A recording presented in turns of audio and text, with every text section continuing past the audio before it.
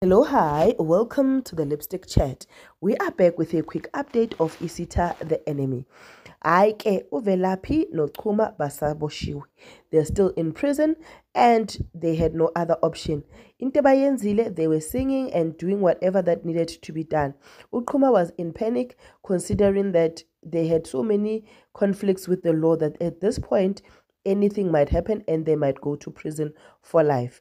Hayi ke uNandi ahambe asking ubani usolomzi to say now that the depot is yours you've got the power to release them. Afike ke athi eh mina ngusolomzi umntana kaRebecca Mabuza. So bengiqala nikhipheni abantu laba laba laba laba laba so hayi bajabulile vele but everybody's upset that the depot is now in his name. Everybody's upset that he has taken Rebecca's side. Everybody's just upset with usolomzi being with uRebecca considering ukuthi uRebecca is an enemy yakasokhulu uTK insists ukuthi hayi akuyiwe esontweni. nangu-TK a-insist ukuthi kuyiwe esontweni ukuthi uNandi aqale asonte. uNandi makafika laphayana kunobani? Kuno ubanzi banzi phela now he's a saved person but the way banzi looks at nandi you can see ukuthi ah welele.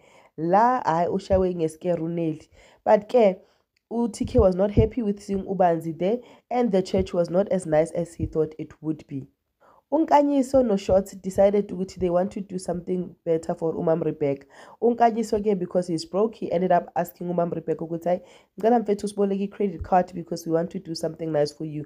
Umam Rebecca athi-ke don't spoil yourself and don't go around buying alcohol for women and impressing women on my expense. Remember this is not your credit card.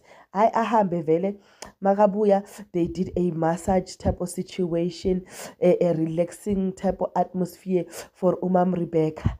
Hey they showed umam rebecca ukuthi they love her they appreciate her. Remember ukuthi according to the storyline amalanga kamam rebecca they are numbered. But we know ukuthi uh, miracles do happen a lot in stories. So umam rebecca's life might be restored on the day she's supposed to die